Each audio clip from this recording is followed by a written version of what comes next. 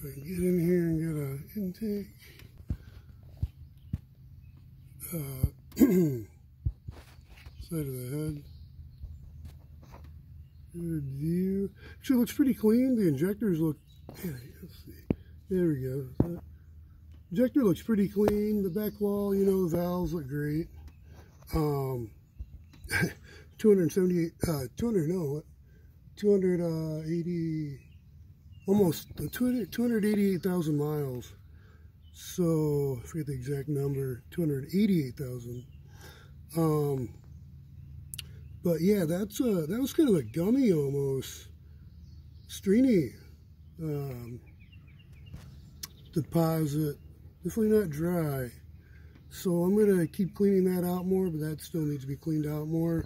Let's see, let's um, pull one of these out.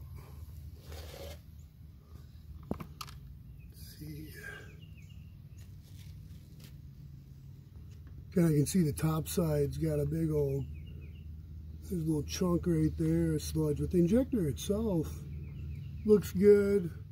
Uh, backside's a little more nasty on this one. I can, that's showing up well.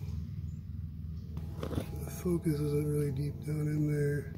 Let's see if we can focus. There, yeah, it's not gonna really. But yeah, that's, wow, it's a lot of residual buildup, so that'd be causing the misfires. Um, anyways, I gotta clean that up.